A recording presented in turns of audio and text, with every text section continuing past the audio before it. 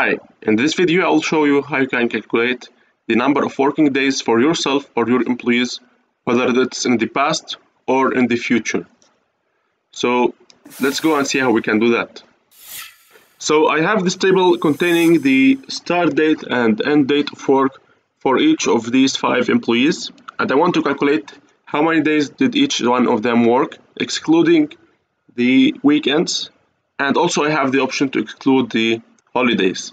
So in order to do that I will use a function called network days equals network days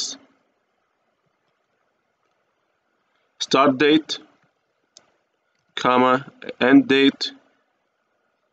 And if I close the bracket right now it will only calculate the weekends. But I also have the option to include the holidays. So depending on the country that your employees are working in you can put the number of holidays let's say for example 20 and close the bracket so Michael worked for 611 days. Let me extend this to the other employees. And you can see for how many days each one of these have worked in my company. Now there is also another type of work that started lately, which is the four working days and three weekends. And in order to calculate based on that, I can use another function which is the Network Days International. In order to do it,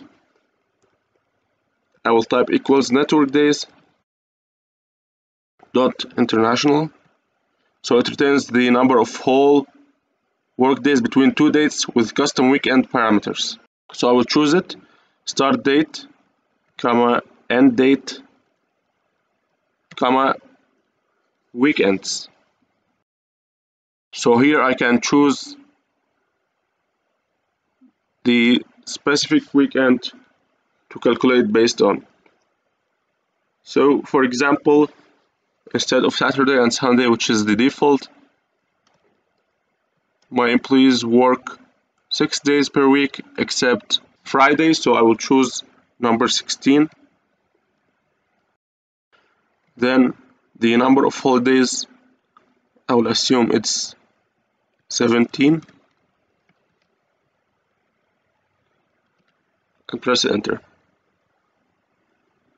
so you can see since the number of weekends is less now and there's only one day off per week for each employee, the number of working days increased by default. I hope this video was helpful for you to let you know how to calculate the number of working days. Don't forget to like and share this video and subscribe to my channel.